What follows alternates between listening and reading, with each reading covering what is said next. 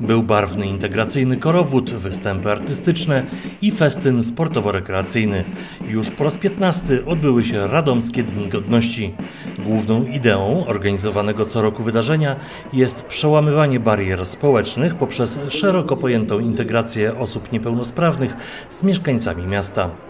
Chcemy, żeby środowisko osób niepełnosprawnych integrowało się e, z osobami w pełni sprawnymi. E, Te osoby niepełnosprawne są niezwykle utalentowane, e, mają wspaniałe umiejętności. Chcemy to pokazać wszystkim mieszkańcom Radomia, dlatego przez trzy dni razem się bawimy, razem tańczymy, razem bierzemy udział w zabawach sportowych. To są naprawdę wspaniali ludzie. To chcemy pokazać, ale de facto te dni godności w naszym mieście trwają trzy- 365 dni w roku. W Radomiu mieszka około 20 tysięcy osób z różnymi niepełnosprawnościami. Mogą one liczyć na wsparcie ze strony Miejskiego Ośrodka Pomocy Społecznej, który formy pomocy stara się dostosowywać do specyfiki potrzeb poszczególnych grup.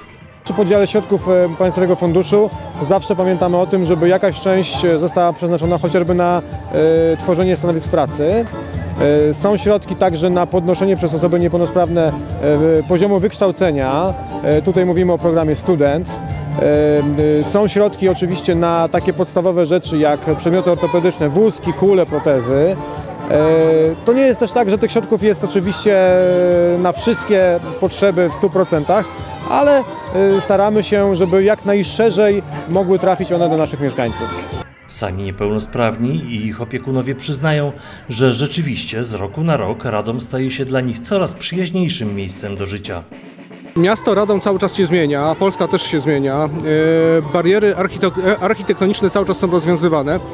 Jeżeli chodzi o integrację osób z niepełnosprawnością e, z osobami niepełnosprawnymi, też się to zmienia. E, Społeczeństwo się robi coraz bardziej otwarte, ale też dodam, że trzeba cały czas pracować, uświadamiać ludzi e, w tym, że niepełnosprawny to taka sama osoba jak my. Wkrótce Radom ma szansę stać się jeszcze przyjaźniejszym miejscem dla niepełnosprawnych. Podczas Radomskich Dni Godności rozpoczęły się konsultacje społeczne w sprawie programu Karta Rodziny z dzieckiem niepełnosprawnym. Posiadacze takiej karty będą mogli korzystać z szeregu ulg i zniżek. Ich katalog będzie tworzony w oparciu o wyniki rozpoczętych konsultacji społecznych. Chcemy, żeby karta e, rodziny z dzieckiem niepełnosprawnym odpowiadała na potrzeby tych rodzin, stąd e, e, proces konsultacji. Dziś nie chcemy przesądzać o działaniach, ale mam nadzieję, że wspólnie wypracujemy najlepsze rozwiązania. Radom przede wszystkim chce być miastem nowoczesnym, miastem europejskim, a takie miasta to miasta, które odpowiadają na potrzeby wszystkich mieszkańców, w tym mieszkańców niepełnosprawnych i chcemy, aby ta karta była takim elementem sprzyjającym aktywności, ale też wykorzystującym te wszystkie rzeczy, które służą integracji z osobami niepełnosprawnymi. Opinie i propozycje dotyczące karty rodziny z dzieckiem niepełnosprawnym można wysyłać drogą elektroniczną na adres konsultacje lub złożyć w formie papierowej w jednym z czterech stałych punktów obsługujących konsultacje.